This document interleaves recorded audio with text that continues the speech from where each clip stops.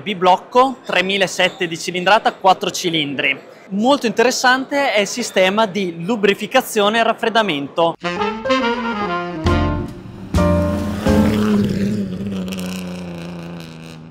Fiat 1216 HP del 1902. Automobile molto interessante sia da un punto di vista eh, storico che ingegneristico, ingegneristico tecnico.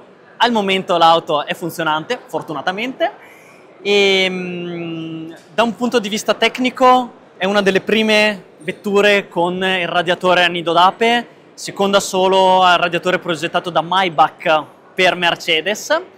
Eh, il progetto di tutta la parte ingegneristica viene da Giovanni Enrico, il motore è un motore biblocco 3007 di cilindrata 4 cilindri molto interessante è il sistema di lubrificazione e raffreddamento.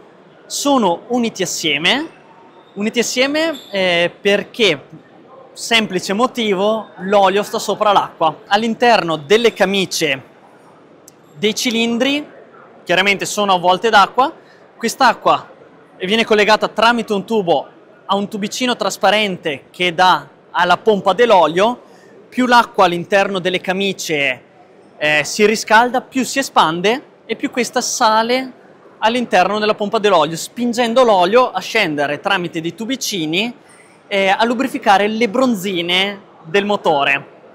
Sempre in termini di lubrificazione, eh, la lubrificazione all'interno della coppa, i tre supporti della coppa, uno ridà lubrificazione all'interno della stessa coppa, mentre l'altro è posto più in fondo verso il volano è a perdere e quindi va a lubrificare eh, il volano che sta arretrato rispetto al resto del motore. L'ultimo supportino di banco invece eh, dà lubrificazione a tutta la cascata di ingranaggi. Altra cosa interessante è l'acceleratore, acceleratore che è semiautomatico possiamo dire, nel senso che come molte auto dell'epoca ha il regolatore di giri di watt e quindi a un certo punto queste due masse centrifughe vanno ad aprirsi, quando vanno ad aprirsi vanno a spingere indietro una leva che fa alzare l'acceleratore sotto il piede. In questo modo non si può andare fuori giri. Allo stesso modo anche schiacciando a fondo troppo l'acceleratore ehm, l'auto non può neanche morire. Ha la regolazione sia agli alti sia ai bassi volendo. Sempre da un punto di vista tecnico interessante sotto a collegare l'albero motore con l'albero primario eh, del cambio troviamo un giunto elastico che solitamente si trova nelle trattrici e nei trattori. Eh, questo giunto è in cuoio e permette eh, a doppia funzione, una di non far grattare le marce, la seconda siccome il telaio è prettamente in legno, legno quindi materiale flessibile, e permette all'albero del cambio e all'albero del motore di poter stare su due assi leggermente diversi senza rompersi.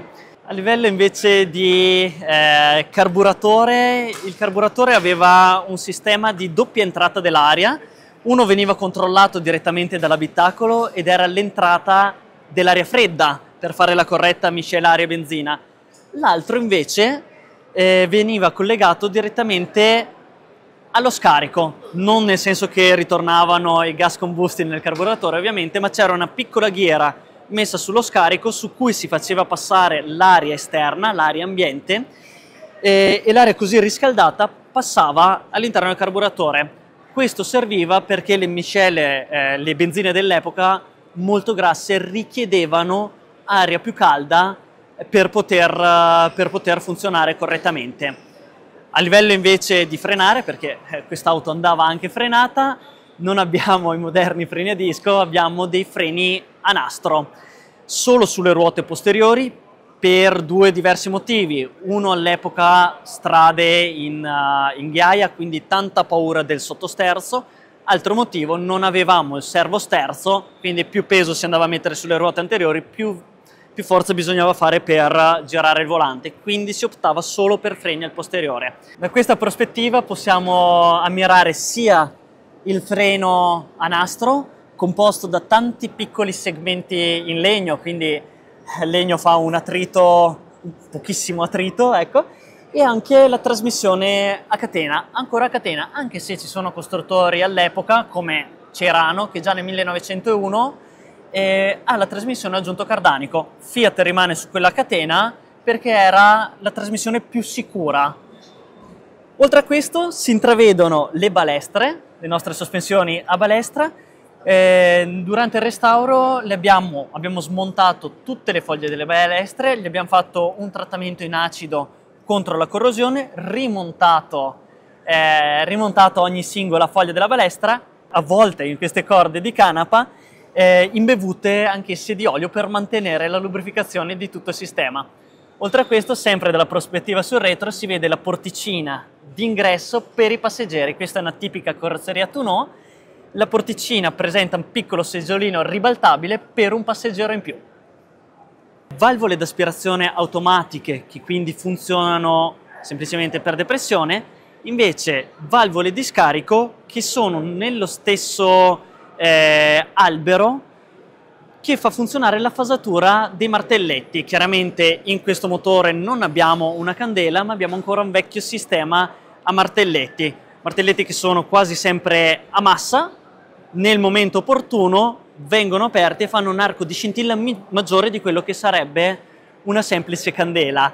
E in un unico albero quindi abbiamo sia la scintilla, la regolazione, la fasatura della scintilla, sia la regolazione e la fasatura delle valvole di scarico, tutto in un unico albero. Messa in moto della vettura, ovviamente non si gira la chiave come, come al giorno d'oggi, abbiamo un avviamento a manovella, ma prima dell'avviamento a manovella, in questo caso bisogna controllare sicuramente il livello dell'acqua del radiatore, punto numero uno fondamentale, fare il cicchetto, il classico cicchetto per la benzina e in questo caso abbiamo un'auto che si va a regolare automaticamente il minimo, quindi non abbiamo bisogno di, come in altre automobili, delle leve, del minimo, della regolazione, eccetera, se lo regola da solo con lo stesso meccanismo eh, di regolazione centrifuga di watt che serve per l'acceleratore.